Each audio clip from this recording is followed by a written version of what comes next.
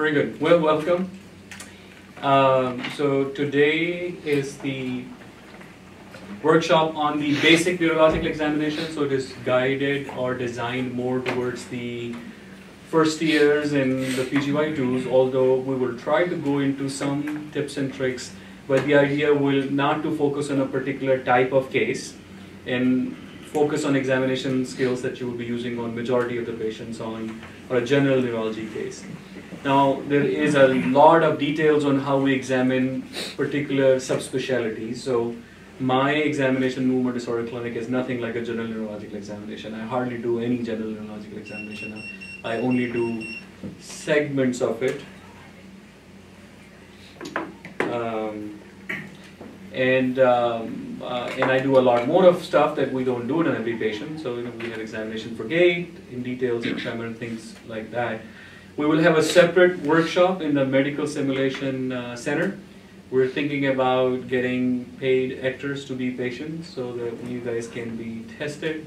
Right there, most of the content is already on the canvas uh, from the last two years. The video recordings are there uh, that you can watch, so the information is not changing. So what we're thinking is flipping it. So having you watch the examination already and then come in and perform it on a paid actor uh, and then uh, get assessed or get a feedback right there on what you're missing or, or, or, the additional points. But still a work in progress.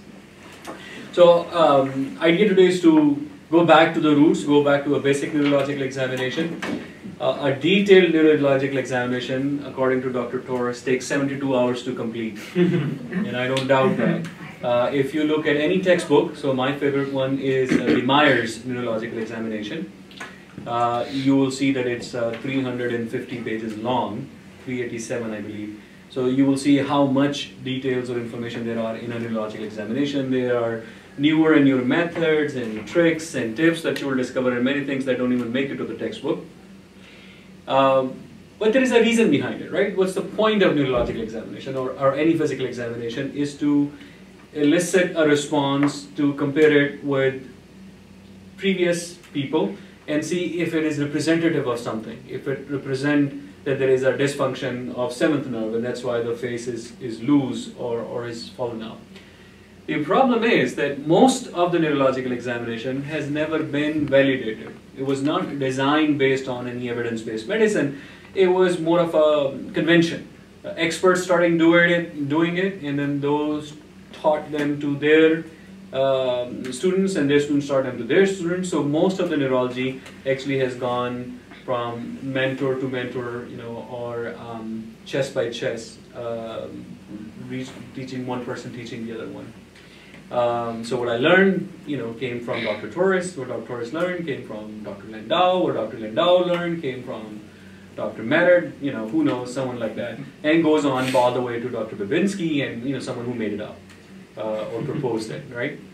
And things keep getting added, and you know we say that doctors sometimes will teach me something and say this is Dr. Lindau's sign because that did not exist before Dr. Lindau. Dr. Lindau made it up and thought that it was useful based on his experiences, and now is being taught to me. And then I might have something which would be Dr. Torres' sign because he made it up and nobody else was doing it before.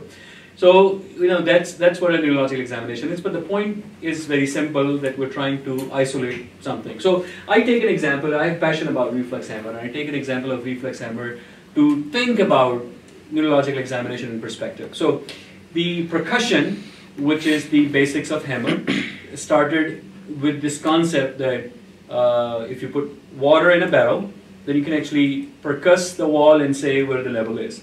So wine barrels is where the percussion started. And because the barrels were thick oak wood and uh, fingers are not the most effective way to percuss, they made percussion hammers to percuss the wine barrel side to tell without opening the barrel where the level of the wine is. And the sound change is based on if there's air inside or fluid at any point and there's a transition point where you can actually tell that's where the level of percussion is. That concept was used when they learned that there was this hydatid disease of the sheep. This is all British. So the sheep were dying and they will open up the brain, it will fill with air fluid levels, pockets in a hydatid disease. And they wanted to tell before opening the brain if there is fluid levels in the brain or air fluid uh, levels. So they started using the wine barrel percussion hammers. So it used to be a hammer and a cup put on the skull of the sheep and tap that and see if there is a sound suggesting there is hydatid disease of the sheep. And that's how the percussion actually started in neurology for the brain, not for the chest. And that one was taken over for by the chest and by, by the belly and abdomen, but it was the brain and it was practical for the farmers to use it in, you know, in 16th, 17th century on their sheep. But then it evolved. You started using better and better hammer. The first concept of reflex hammer or reflexes was actually a New York neurologist. Um, you know, his name slipped me right now, but um, not very well known guy. But he proposed that you can actually strike a, a tendon or a muscle and the muscle twitches and that's a sign that there is a normal reflex arc. It was 1920s. Or the idea has come from Dr. Babinski earlier, but Dr. Babinski uh, was more about superficial reflexes, the skin reflexes, like the Babinski reflex for the toes that we do, or the abdominal cutaneous reflex that, that they are, not the tendon reflexes, uh, which was proposed uh, 10, 15 years later uh, by this New York neurologist. And then we started using the same hammers initially, but then we started going through these design phase of what is the right hammer to get a reflex, you know, what will get the job done. And there were so many different variations created, most of them actually in America, in, in New York and Philadelphia, uh, where first dedicated reflex hammer for tendon was designed. Um, and then the most famous one was also designed soon after that, which was the Armstrong hammer or the Tomahawk hammer. So I have some of those and I try to find those ones and, and collect them. So this is a copy of one of the original design of the hammer which was designed to get a tendon reflex done. You know, have a very practical design. You know, hammer at the end, it literally looks like a hammer, but it was designed to be top heavy so that you can swing it. Have a length and a hole which is flat, not round, so you can swing it between your fingers and let it swing between your fingers. And because the neurologists, as they were practicing these tendon reflex techniques, were realizing, well, we'll get a good reflex, a reliable reflex. What is a good reflex? Is that when you say the reflex is present, it's present, and when you say it's absent, it's absent. And that, in, in addition, will have a problem, right? So if a reflex is actually present, absolutely present, how reliably can it say that the arc is normal? Maybe it's 90%, maybe it's 85%, there's no good data. But if you if there's an added unreliability that you, five people do it and three say it's present, two say it's not present, then that adds another 30% loss of information or 40% loss of information. Now it's, the reliability has gone down to less than 50%. So first you need to perfect your own reliability. That whenever you say it's present, it is present. And whenever you say it's not present, it's not present. And that's why techniques are important. That's why tools are important. That's why positioning is important. All of that is important because you're trying to be as close to gold standard. When you're saying it's present, it's present. When you're saying it's absent, it's absent. And then it has an inherent weakness of whether it translates into neuropathy, radiculopathy, spinal cord injury, brain injury, or not. Uh, that, that there is an inherent weakness. You know, how reliable is Babinski sign? There are studies that show the Babinski sign is only positive in 85% of patients with an upper motor neural lesion and is false negative in you know 30% of patients who do not have an upper motor neuron lesion, and, and so on and so forth. So even Babinski, which we think of as a 100% gold standard, is not gold standard. It's you know, 70 to 85%. But many of those studies are done by non-neurologists, so that's that. Um, so uh, I oh, I, I found this one of the older designs. This is one of also the original design for Philadelphia. The wood handle was actually the most common handle being used for these hammers and reflexes. Uh, the rubber uh, they were using was actually the actual rubber, the, the like the plant rubber or the animal rubber that comes out, not silicone like we use right now or artificial rubber or plastic. Uh, and then you know they start adding these finesses where they will have extra tools to screw in, screw out, they will start using additional things that you can, uh, they start making it sharp so you can do Babinski reflex, all of it. But neurologists will go to a tool maker and propose a model that they want. But the first really successful hammer was the Tomahawk hammer, the Armstrong hammer. And it was designed in a very specific way. It was lightweight, so you can carry it in your pocket and in small handle.